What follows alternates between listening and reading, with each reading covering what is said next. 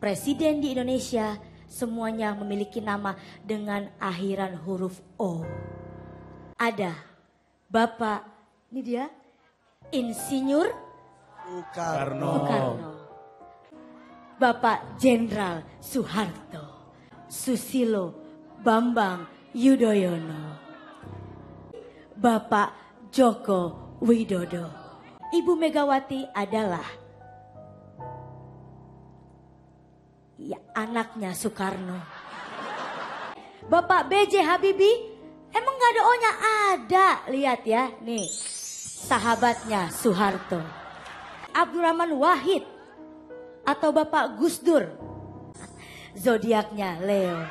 Jadi, dari prediksi di awal yang berhasil masuk ke babak kategori selanjutnya adalah Bapak Sandiaga Uno. Oh,